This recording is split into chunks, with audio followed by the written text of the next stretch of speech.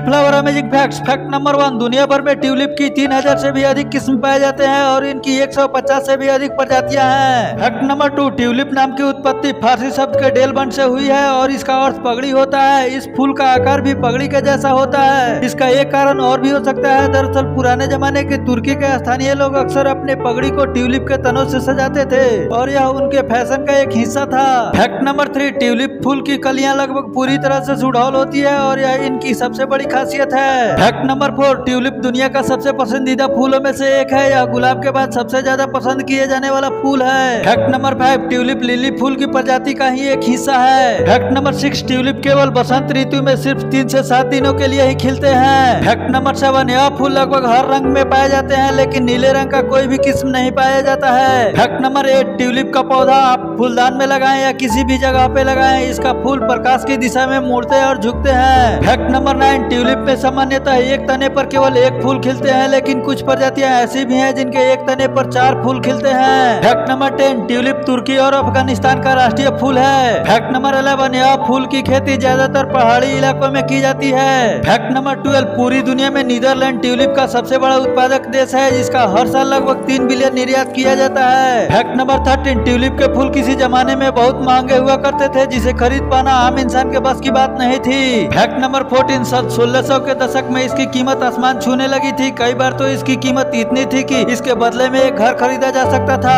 Fact number fifteen, सन सोलह सौ चौतीस से सन सोलह सौ सैंतीस के सायकाल को ट्यूलिप मानिया नाम दिया गया था, क्योंकि इस दौरान ट्यूलिप फूलों की कीमत सबसे ज़्यादा थी। कहा जाता है कि इसकी कीमत किसी बेसकीमती हीरे ऐसी कम नहीं थी।